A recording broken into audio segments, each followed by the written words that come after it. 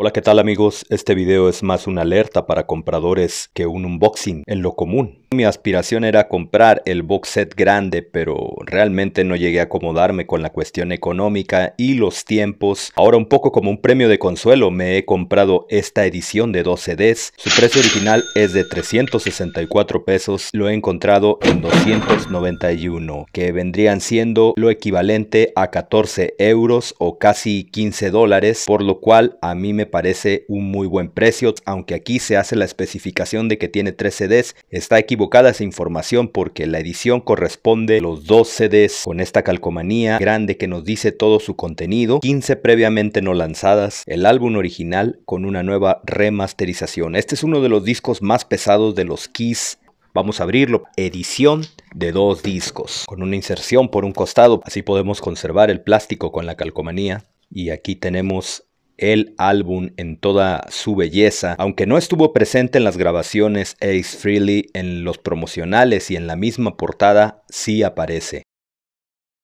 Como vamos a darnos cuenta, realmente no tocó en el álbum. Vean aquí algunas de las imágenes de los dos nuevos miembros que incluía a Eric Carr, que llegó en el lugar de Peter Chris, Vinnie Vincent en la guitarra. De los dos nuevos miembros es más común esta imagen que la, de Vinnie Vincent. Vean ustedes, aquí tenemos el disco. Así es como luce el disco 1, el álbum original remasterizado, considerado como uno de los discos más pesados de los Kiss, que pues recuperan ese sonido más pesado ya lejos del pop disco que habían tenido sus anteriores discos y del progresivo que es The Elder. Aquí está el otro disco con los demos, las rarezas, los outtakes, es el disco 2 y los tracks en vivo Así es como se ve ya desplegada la edición de los dos discos.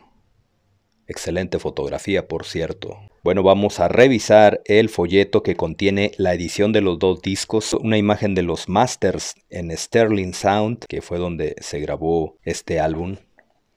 Vean aquí una imagen promocional y la historia que se cuenta de este disco. Paul Stanley está dando entrevistas, tiene mucha información, el tamaño de la letra pues es algo reducido, pero eso también nos habla de la información o cantidad de comentarios que incluyeron sobre esta edición. Se busca primer guitarra, Aquí viene el mago, y aquí lo tenemos, es un guitarrista pues con un sonido más pesado que Ace Freely, pero pues el original es el original. La banda intentó que Ace no saliera del grupo, ellos no querían que se fuera, pero pues ya no estaba a gusto Ace Freely con la dirección que estaba tomando la banda, por esa razón los deja. Pues muy poderosa la imagen del niño estrella, Vean la información que contiene este booklet, excelentes fotografías de los Keys, ese bajo de hacha de Gene Simons es imponente.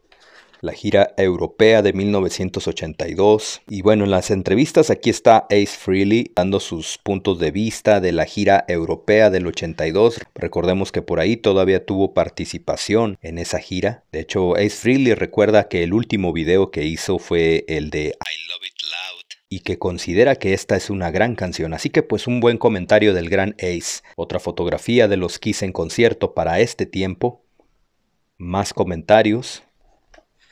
La Kissmanía en Brasil de verdad que eran famosos. El listado de las canciones, el álbum original, algunas de mis piezas favoritas es obviamente la 6, I Love It Loud, del cual pues había un video por ahí, la oscura balada I Still Love You, o desde luego Creatures of the Night, y más abajo tenemos los demos y las rarezas, la mezcla alterna 21 de I Love It Loud, me gustaría más o algunas remezclas de este álbum que los demos en general, pero bueno, esto es lo que nos ofrecen y esto es lo que tenemos por la cantidad que pagamos que no es mucha en realidad. Así que pues bueno, aquí está la edición de los dos discos. Estos son los créditos originales del álbum. Están los nombres de los cinco miembros, pero también aparece aún Ace Freely. Aquí se nos muestra la participación de otros bateristas en estas canciones. El productor fue Michael James Jackson.